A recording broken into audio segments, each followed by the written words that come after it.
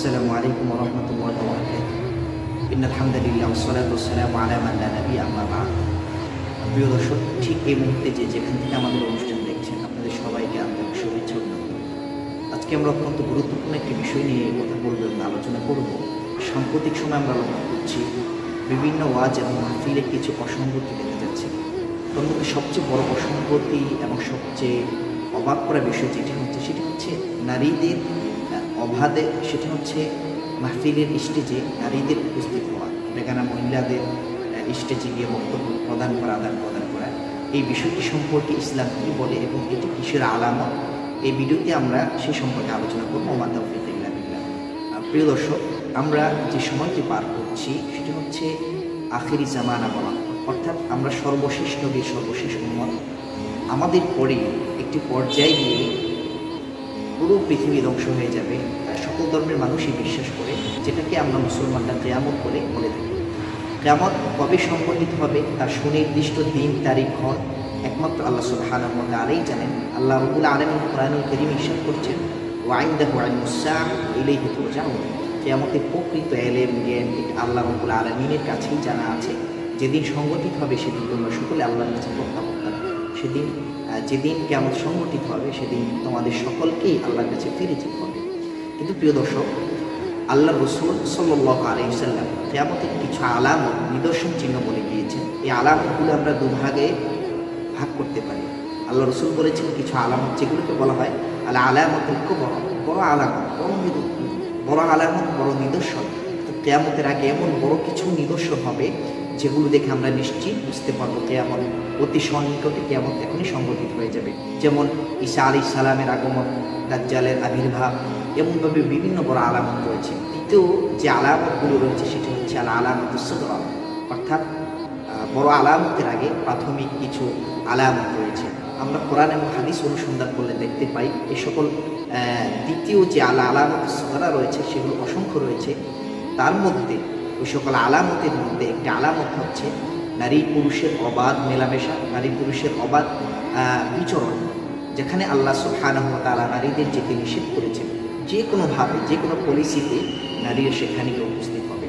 আজকে আমরা অত্যন্ত দুঃখের সাথে লক্ষ্য করছি, আমাদের বাংলাদেশে বিভিন্ন জায়গায় ওয়াজ মাহফিলে নারীরা কোথাও প্রধান অতিথি হয়ে, কোথাও মেহমান হয়ে, কোথাও নিজেকে উপস্থাপন করার জন্য, কোথাও সাহায্য চাওয়ার জন্য বিভিন্ন বিভিন্নভাবে তারা মাহফিলের স্টেজে উঠে যাচ্ছে, যেটি অবশ্যই একটি কেয়ামতের আলামত এবং যেখানে আল্লাহ ওয়া তাআলার বিধান লঙ্ঘন হচ্ছে।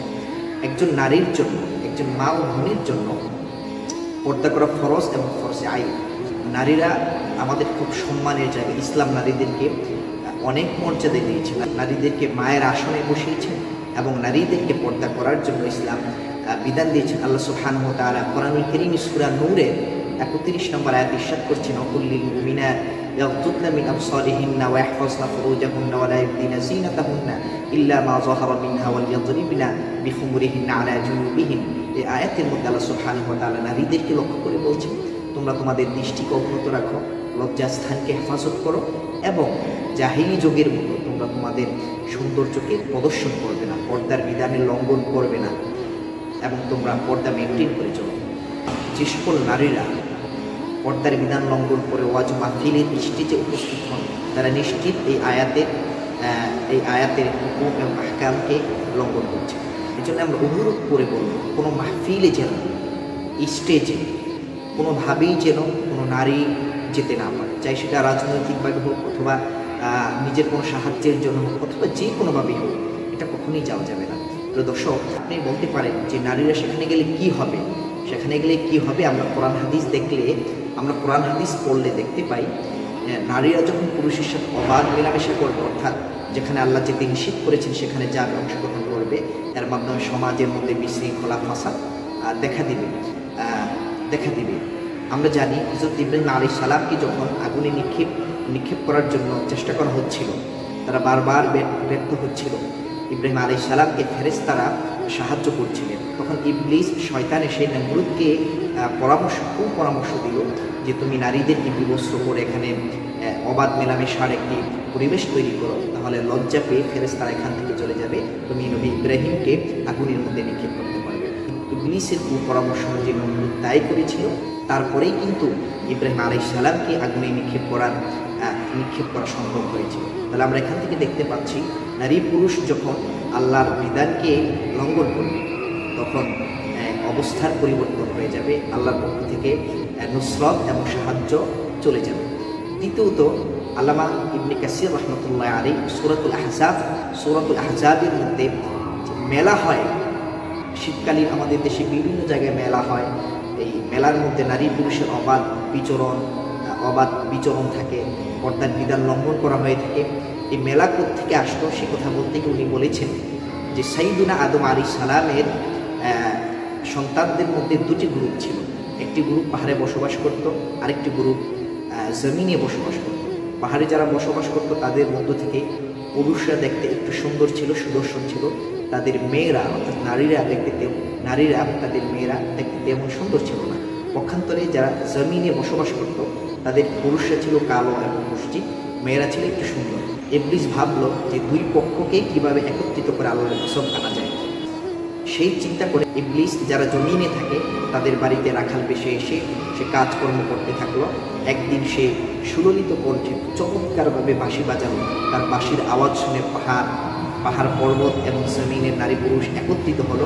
ভাবেই তারা আল্লাহর বিধানকে লঙ্ঘন করল। সুতরাং এখান থেকে আমরা দেখ- দেখতে পাচ্ছি যে নারী পুরুষের অবাধ মেলামেশা, নারী পুরুষের পর্দার বিধান লঙ্ঘন করে নারী পুরুষ একত্রিত হওয়া, এটা শয়তান এবং ইবলিসের উদ্ভাবন।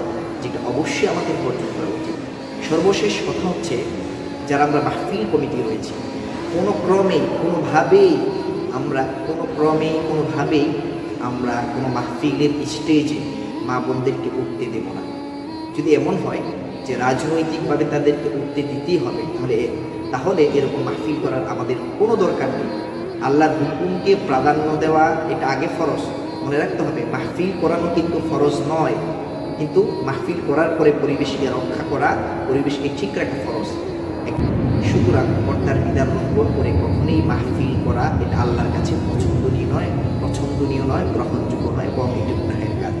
দ্বিতীয়ত, যারা আলেম ওলামা রয়েছেন, বক্তা রয়েছেন, আপনারা যারা বয়ান পেশ করেন আপনি যদি কখনো এইরকম অবস্থার সম্মুখীন হয়ে যান, যে মাহফিল হঠাৎ স্টেজে নারী চলে আসছে, তাহলে অবশ্যই মাহফিল বর্জন করে সেখান থেকে সসম্মানে চলে আসবেন।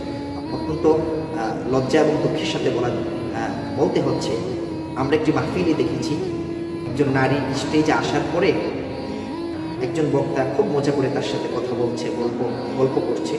সেই সকল সেই ভিডিও ক্লিপ সেই ভিডিও অলরেডি ফেসবুকে বিভিন্ন সোশ্যাল মিডিয়াতে ভাইরাল হয়েছে এবং সমালোচনার ঝড় উঠেছে, এজন্য আসুন, আমরা কোরআন এবং হাদিসের সকল নিয়ম নীতি মেনে ওয়াজ মাহফিল করার চেষ্টা করি এবং ইসলামী বিধিবিধান মেনে চলার চেষ্টা করি।